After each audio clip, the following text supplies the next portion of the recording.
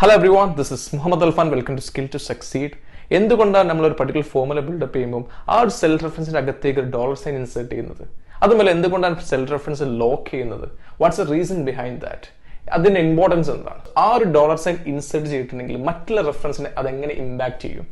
So നമ്മുടെ ഇന്നത്തെ ടോപ്പിക്കാണ് what is relative reference absolute reference and mixed reference അപ്പോൾ നമുക്ക് വീഡിയോയിലേക്ക് എടുക്കാം എന്തായാലും ഓൾ ദി ബെസ്റ്റ് സോ ഈ ഒരു വർക്ക്ഷീറ്റിൽ നിങ്ങൾക്ക് കാണാൻ പറ്റും ഓരോ ടാബിലും ആ റെസ്പെക്റ്റീവ് ടോപ്പിക്കിന്റെ നെയിം കൊടുത്തത്. Relative cell reference absolute cell reference and mixed reference നമുക്ക് ഓരോ ടോപ്പിക്കും ഒരു ചെറിയൊരു എക്സാമ്പിൾ ഒരു കേസ് സ്റ്റഡി വെച്ചിട്ട് എങ്ങനെയാണ് ഞാൻ എക്സ്പ്ലെയിൻ ചെയ്തുതരാം ഓക്കെ അപ്പോൾ നമുക്ക് സ്റ്റാർട്ട് ചെയ്യാം. The first topic relative cell reference ഇതിനടുള്ള കാണാം ചെറിയൊരു സെയിൽസ് റിപ്പോർട്ട് അതായത് ഇൻവോയ്സ് ഡേറ്റ് സെയിൽസ് മാൻ ആ respective quarter one quarter two quarter three quarter four sales report right അതുപോലെ തന്നെ അതിന്റെ എൻഡിൽ കാണാൻ പറ്റും ടോട്ടൽ എന്നുള്ളൊരു എം ടി കോളം അതായത് ഈ ഒരു കോളത്തിൽ എനിക്ക് സം എന്നുള്ള ഫോമുല അപ്ലൈ ചെയ്തുകൊണ്ട് ഇതിന്റെ ടോട്ടൽ കിട്ടണം. സോ നമുക്കറിയാം നമുക്കത് ഈക്വൽ ടു സം എന്നുള്ള ഫംഗ്ഷൻ അപ്ലൈ ചെയ്താലും ഈ ഒരു പർട്ടിക്കുലർ റേഞ്ച് സെലക്ട് ചെയ്ത് ക്ലോസ് ചെയ്തിട്ടുണ്ടെങ്കിൽ ആ റെസ്പെക്റ്റീവ് കോട്ടൺ അഗേൻസ്റ്റ് ആയിട്ടുള്ള ടോട്ടൽ വാല്യൂ കിട്ടും. അതിനൊന്നും ആവശ്യമില്ല. നമുക്ക് ഡയറക്ട്ലി ഓൾട്ട് ഈക്വൽ അടിച്ചാൽ തന്നെ ഓട്ടോമാറ്റിക്കലി ആ ഫോമുല ഇൻസെർട്ട് ആവുന്നു എന്റർ ചെയ്യുന്നു. സി സോ ഇവിടെ കേസർ പ്ലേസ് ചെയ്തു. ഇവിടെ ഫോമുല ബാൽ കാണാം. ആ കറക്റ്റ് സം അപ്ലൈ ചെയ്തത് റൈറ്റ് കോളം സി ടു തൊട്ട് എഫ് ടു വരെ കംപ്ലീറ്റ് റേഞ്ച് ഓട്ടോമാറ്റിക്കലി പിക്ക് ചെയ്യുന്നു റൈറ്റ്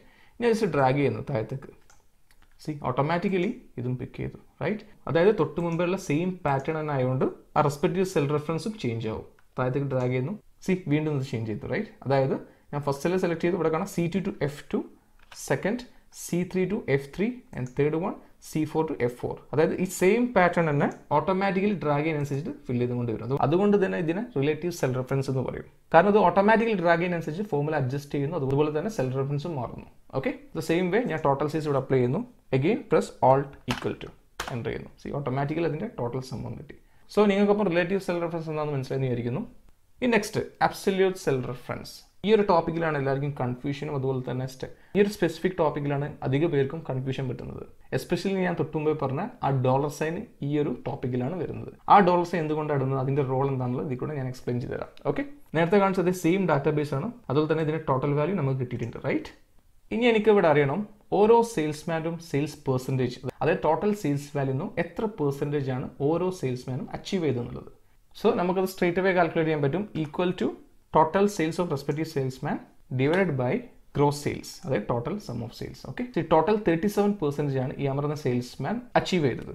സോ നമുക്കൊരു യൂഷ്വലി ടെൻഡൻസി ഉണ്ടാവും. ഓക്കെ റിലേറ്റീവ് സെൽ റെഫറൻസ് പോലെ തന്നെ നമ്മൾ ഡ്രാഗ് ചെയ്തിട്ടുണ്ടെങ്കിൽ ഓട്ടോമാറ്റിക്കലി സെൽ റെഫറൻസും അതുപോലെ തന്നെ ഇതിന്റെ പാറ്റേണും മാറുന്നുള്ളത് നമ്മൾ ജസ്റ്റ് നോക്കി നോക്കാം. ഞാൻ ജസ്റ്റ് ഡ്രാഗ് ചെയ്യുന്നു താഴത്തേക്ക്. പക്ഷേ ഇവിടെ കറക്റ്റ് റിസൾട്ടിന് പകരം എററാണ് അപ്പിയർ ചെയ്യുന്നത്. ജസ്റ്റ് വീണ്ടും ഡ്രാഗ് ചെയ്യുന്നു. ഇവിടെ നിന്നാണ് സെയിം എറർ അപ്പിയർ ചെയ്തത് അതെന്തുകൊണ്ടാണ് സംഭവിക്കുന്നത്? സോ നമുക്കതൊന്ന് അനലൈസ് ചെയ്ത് നോക്കാം. സോ ഫസ്റ്റ് സെൽ സെലക്ട് ചെയ്തു. ഇവിടെ നമുക്ക് equal to G two divide by G five G two ഉദ്ദേശിക്കുന്നത് Amar achieve the total sales ആ right R sales divide by G five അതായത് ടോട്ടൽ ഗ്രോസ് സെയിൽസ് ഇവിടെ കാണാം ജി ഫൈവ് റൈറ്റ് അത് correct കിട്ടി. ഓട്ടോമാറ്റിക്കലി നമ്മൾ ഡ്രാഗ് ചെയ്തപ്പം ആ പാറ്റേണിനനുസരിച്ച് തന്നെ ആ സെൽ റെഫറൻസ് മാറുള്ളത് നമുക്ക് അറിയാം റൈറ്റ് ഞാൻ നെക്സ്റ്റ് നോക്കാം. ഇവിടെ കാണുന്നത് ഈക്വൽ ടു ജി ത്രീ അതായത് അക്ബറിന്റെ സെയിൽസ് ജി ത്രീ അത് കറക്റ്റാണ് divide by G six G six ഉദ്ദേശിക്കുന്നത് ടോട്ടൽ സെയിൽസ് ആയതുകൊണ്ട് തൊട്ട് താഴെ ഈ ഒരു empty cell so of course ഇവിടെ ഒരു എം ടി ആയതുകൊണ്ട് തന്നെ നമുക്ക് കറക്റ്റ് റിസൾട്ട് കിട്ടാനുള്ള ചാൻസ് ഇല്ല. അതുമല്ല ആക്ച്വലി നമുക്ക് പിക്കപ്പ് ചെയ്യേണ്ടത് ജി ഫൈവ് എന്നാണ് റൈറ്റ് ഈ നെക്സ്റ്റ് നോക്കാം. Equal to G four divide by G seven G four ഉദ്ദേശിക്കുന്നത് ഈ ആന്റണീന്റെ ടോട്ടൽ സെയിൽസ് ആണ്. അത് കറക്റ്റാണ് divide by G seven C seven എന്ന് പറയുമ്പോൾ വീണ്ടും ഡൗണിലേക്ക് വന്നു. അതായത് വീണ്ടും എം ടി അവിടെ കാണിക്കുന്നു. സോ ടെക്നിക്കലി പറയുകയാണെങ്കിൽ ഈ ഒരു പാറ്റേണിലാണ് അവിടെയും സെൽ റെഫറൻസ് കാൽക്കുലേറ്റ് ചെയ്തത്. കാരണം നമ്മൾ പ്രീവിയസ് ലെസണിൽ ഞാൻ കവർ ചെയ്ത പോലെ ഈ റിലേറ്റീവ് സെൽ റെഫറൻസ് മോഡിലാണ് ഞാൻ ഫോമുല ഡ്രാഗ് ഡൗൺ ചെയ്തത്. അതുകൊണ്ട് തന്നെ റോ റെഫറൻസും അതുപോലെ തന്നെ കോളം റെഫറൻസും ഓട്ടോമാറ്റിക്കലി ചേഞ്ച് ആവും. റോ റെഫറൻസ് ഇസ് ഫൈൻ അതുകൊണ്ട് തന്നെ ഈ ഒരു റോ റെഫറൻസ് കംപ്ലീറ്റ് ചേഞ്ച് ആയി ഓട്ടോമാറ്റിക്കലി റൈറ്റ് അതിനുശേഷം ഈ ടോട്ടൽ എമൗണ്ടിന്റെ റെഫറൻസോ ഈ ഒരു മോഡിലാണ് ഓട്ടോമാറ്റിക്കലി ചേഞ്ച് ചെയ്തത്. സോ ഇവിടെ ബാലൻസ് കാണുന്ന രണ്ട് എം ടി സെൽ അതുകൊണ്ടാണ് ഇവിടെ ഇറങ്ങി വന്നത്. സോ നമുക്കതങ്ങനെ ഫിക്സ് ചെയ്യാൻ നോക്കാം. ഓക്കെ സോ നിങ്ങൾക്ക് ഇപ്പോൾ ഒരു ചെറിയൊരു ലോജിക് കിട്ടിയിട്ടുണ്ടാവും റൈറ്റ് സോ ഇവിടെ ആദ്യം വേണ്ടത് എന്താ? ഇത് ലോക്കാക്കി ഇടാം. അതായത് നമ്മൾ ഡ്രാഗ് ചെയ്യുമ്പോഴും ഇത് ഈ സെൽ റെഫറൻസ് മാറരുത്. പക്ഷേ ഇത് മാറിക്കോട്ടെ. കാരണം ഇത് റോ വൈസിൽ ഓരോ സെയിൽസ്മാന്റെ ടോട്ടൽ സെയിൽസ് ആണ് പിക്കപ്പ് ചെയ്യുന്നത് റൈറ്റ് അതുകൊണ്ട് ഫസ്റ്റ് സെല്ലിൽ കേസർ പ്ലേസ് ചെയ്യുന്നു. ശേഷം സോ എനിക്ക് ലോക്ക് ചെയ്യേണ്ട സെല്ല് ഏതാണ്? ജി ഫൈവ് ആ റൈറ്റ് സോ അത് ഞാൻ സെലക്ട് ചെയ്യുന്നു. ശേഷം കീബോർഡിലുള്ള എഫ് ഫോർ പ്രസ് ചെയ്താൽ മതി. സോ ഇവിടെ കാണാൻ പറ്റും ഓട്ടോമാറ്റിക്കലി രണ്ട് ഡോൾസിനോട് ഇൻസെർട്ട് ചെയ്ത് അത് ജീന്റെതും ഫൈവിനും ഇടയിലായിട്ട് റൈറ്റ് ജി ഉദ്ദേശിക്കുന്നത് എന്താ? കോളാണ് ഫൈവ് ഉദ്ദേശിക്കുന്നത് ഈ റോ ആണ്. അപ്പം ഇത് കംപ്ലീറ്റ് ലോക്ക് ചെയ്തു. റൈറ്റ് ജസ്റ്റ് എന്റർ ചെയ്യുന്നു. നിങ്ങൾക്ക് എഫ് ഫോർ തന്നെ പ്രസ് ചെയ്യേണ്ട ആവശ്യമൊന്നുമില്ല. ഇൻ കേസ് നിങ്ങൾക്ക് വേണമെങ്കിൽ മാനുവലി ഇൻസേർട്ട് ചെയ്യാം. സോ ഈ ഒരു കേസിൽ equal to total sales of respective salesman divide by total gross sales okay അതിനുശേഷം ജീന്റെ തൊട്ട് മുമ്പേ കൊടുക്കുന്നു. ഫൈവിന്റെ തൊട്ട് മുന്നേ കൊടുക്കുന്നു. അതായത് ജി എന്ന കോളം ലോക്ക് ചെയ്തു.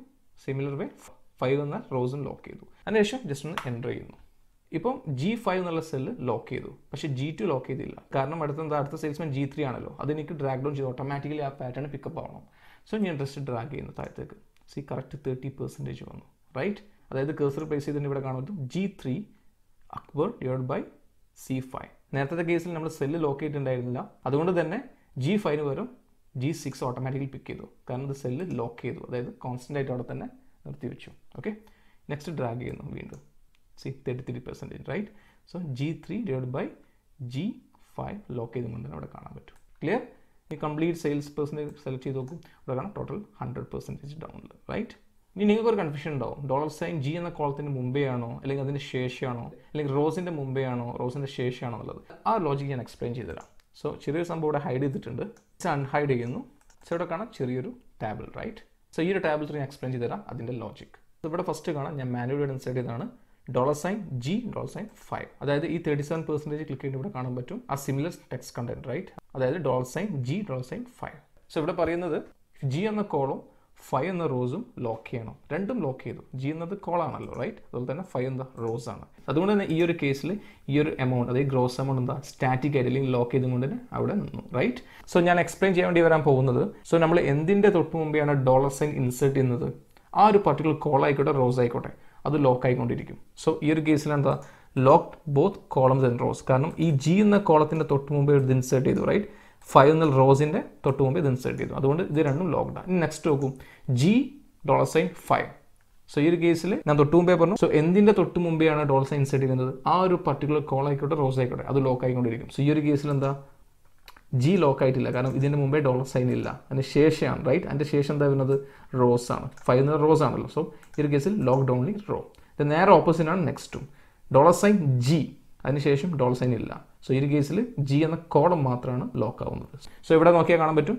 Dollar sign G dollar sign five right അതുകൊണ്ട് തന്നെ ഇത് രണ്ടും ലോക്ക്ഡാണ് ഇത് മൂന്നും ജസ്റ്റ് ഇവിടെ ടെസ്റ്റ് ചെയ്ത് നോക്കാം. അതായത് കോളം ജി ലോക്ക് ചെയ്യേണ്ട റോസ് മാത്രം ലോക്ക് ചെയ്താൽ മതി. അതുകൊണ്ട് തന്നെ ഇത് എഡിറ്റ് ചെയ്യേണ്ട ആവശ്യമൊന്നുമില്ല.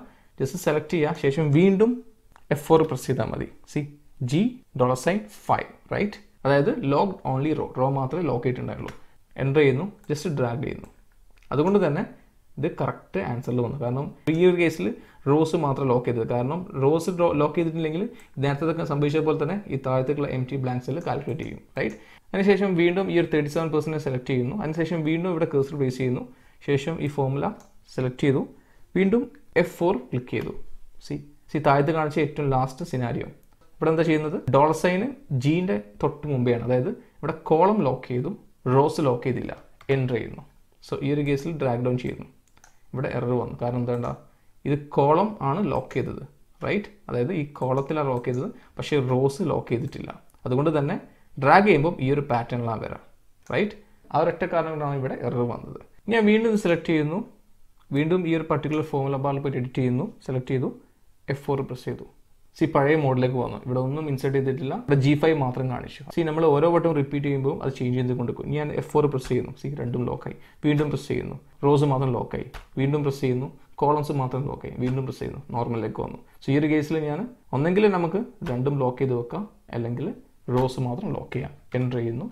ജസ്റ്റ് ഡ്രാഗ് ഡൗൺ ചെയ്യുന്നു. ഓക്കെ സോ ഈ അബ്സല്യൂട്ട് റെഫറൻസ് എന്ന് എല്ലാവർക്കും ക്ലിയർ ആയി എന്ന് വിശ്വസിക്കുന്നു. നമുക്ക് നെക്സ്റ്റ് ടോപ്പിക് എടുക്കാം. മിക്സഡ് റെഫറൻസ് എന്നുള്ളത്. ഓക്കെ സോ നമ്മൾ ഓൾറെഡി റിലേറ്റീവ് റെഫറൻസ് എന്താ? അതുപോലെ തന്നെ അബ്സല്യൂട്ട് റെഫറൻസ് എന്താ മനസ്സിലാക്കിയത് കൊണ്ട് തന്നെ ഈ ഒരു മിക്സഡ് റെഫറൻസ് വളരെ എളുപ്പമായിരിക്കും. ഓക്കെ നമുക്ക് എങ്ങനെയുള്ളത് നോക്കാം.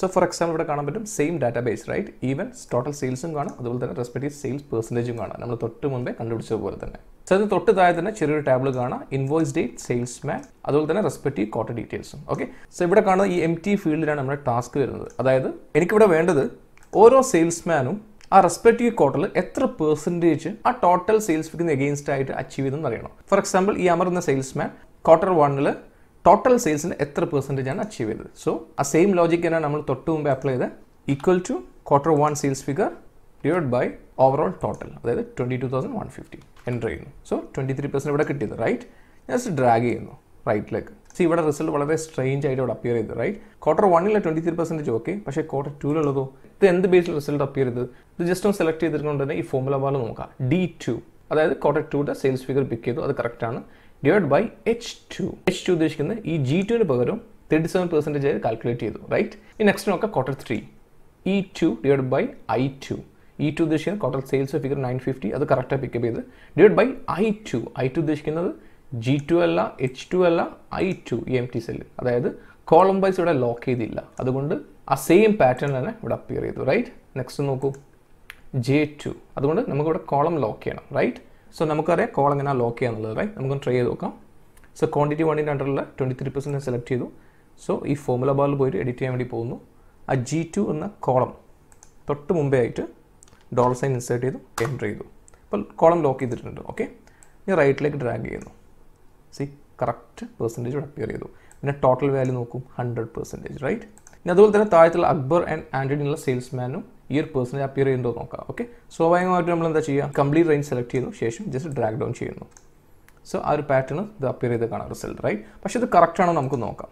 ഫസ്റ്റ് ഇത് കംപ്ലീറ്റ് സെലക്ട് ചെയ്തപ്പോൾ ഹൺഡ്രഡ് പെർസെന്റേജ് സെക്കൻഡോ കംപ്ലീറ്റ് സെലക്ട് ചെയ്തു hundred percentage and third one complete select hundred percentage okay കാരണം നമ്മൾ ആ പർട്ടിക്കുലർ ജി എന്ന കോളം ലോക്ക് ചെയ്ത് വെച്ചു. അതുകൊണ്ട് തന്നെ ഇത് ഫസ്റ്റ് ക്ലിക്ക് ചെയ്ത് ഇവിടെ കാണാം ജി ടു നെക്സ്റ്റ് നോക്കൂ. G three and G four അത് ലോക്ക് ചെയ്തില്ലെങ്കിലോ എച്ച് എന്നുള്ള കോളം പിക്ക് ചെയ്യുന്നു ഐ എന്നുള്ള കോളം പിക്ക് ചെയ്യുന്നു ജി എന്നുള്ള കോളം പിക്ക് ചെയ്യുന്നു നേരത്തെ കാണിച്ച പോലെ തന്നെ ഇത് അപ്പിയർ ചെയ്യും. ഓക്കെ അപ്പോൾ എല്ലാവർക്കും എന്താ ഈ റിലേറ്റീവ് റെഫറൻസ് അതായത് അബ്സല്യൂട്ട് റെഫറൻസ് മിക്സ് റെഫറൻസ് എന്നാണ് മനസ്സിലായെന്ന് വിചാരിക്കുന്നു.